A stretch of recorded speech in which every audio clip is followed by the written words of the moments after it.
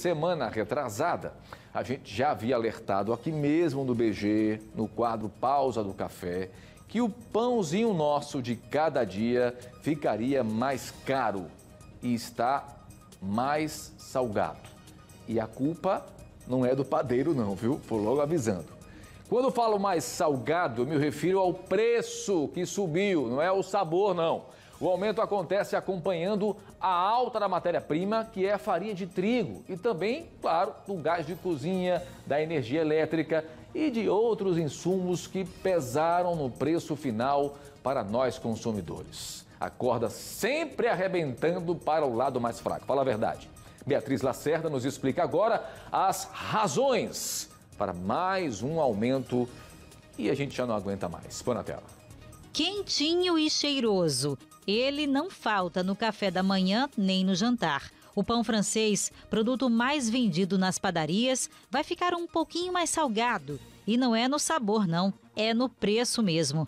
Nessa padaria no Feitosa, o quilo custa 12 reais, mas nos próximos dias vai subir para 15 reais. O dono não conseguiu segurar preço, porque está comprando o saco de trigo mais caro. Eu estava comprando a 178, 178. E deu um aumento para 215, 220 e está previsto aumentar mais um pouco. Então, em poucas semanas teve uma variação muito grande. Em três semanas. Aí aqui nessa padaria, quanto é que vai chegar o quilo do pão? Está previsto para chegar entre 15 reais a 16, dependendo muito de quanto aumentar, né? Até mais um pouco.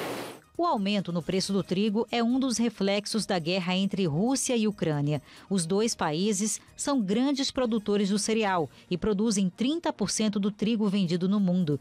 No Brasil, cerca de 80% do produto vem da Argentina, mas com a alta do trigo no mercado internacional, com menor oferta da Rússia e Ucrânia, o cereal acabou ficando mais caro para todo mundo. E não é só o pãozinho que vai ficar mais caro não, viu? Também vão subir de preço bolachas, biscoitos, salgadinhos e até os bolos. E a culpa não é só do trigo não, viu?